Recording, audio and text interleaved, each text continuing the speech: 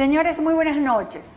La OISOE, sinónimo de corrupción, fue eliminado del Estado por el presidente electo Luis Abinader, una medida que se ha tomado ya dos veces desde su creación por el gobierno de Joaquín Balaguer en 1987. Uno de los primeros decretos de don Antonio Guzmán en 1978 fue suprimirla, pero fue restaurada nuevamente por Balaguer cuando volvió al poder se solidificó como la mina de oro de la codicia de los presidentes. Es, era un adefesio gubernamental con triple titulación, ya que usurpa las funciones de otros ministerios, como sabemos.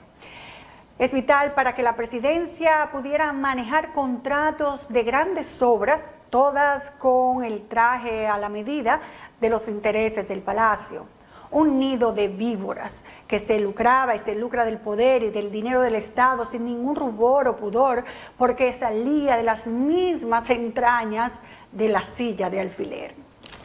No ha pasado por esa oficina ningún incumbente y presidente con las manos limpias, pero sí con los bolsillos repletos de riquezas que le costaron pobreza al país fue y ha sido una fábrica de millonarios allegados al poder.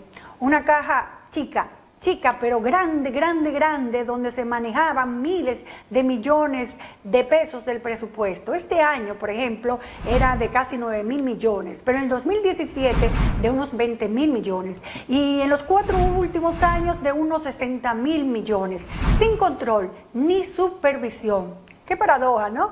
llamándose oficina supervisora.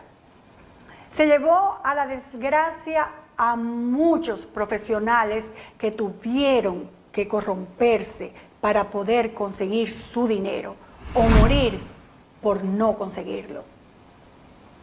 Nosotros hemos hecho decenas de trabajos de investigación sobre el manejo de los fondos, de las nóminas abultadas y muchas, nepotismo, el contubernio de funcionarios para el mal, el robo de obras, el abuso de poder, sobrevaluaciones, contratos grado a grado, violando la ley, la extorsión, la corrupción, el soborno, en fin, todas las formas de corrupción habidas y por haber tuvieron su máxima expresión aquí, convirtiéndose en un monstruo de siete cabezas, con nombres y apellidos. Recuerda a Hernán Salazar, Euclides Sánchez, Félix Bautista, cuota aparte a este, por supuesto, y vale por dos cabezas. Miguel Pimentel Caré, Luis Alfredo Cifres y el último, Francisco Pagán, que también vale por muchos. Le llegó su agosto a la OISOE para cerrar los buenos negocios, pero se espera que le llegue a los que la dirigieron, sobre todo a los últimos, el día, su último día, el día de San Quintín. Buenas noches.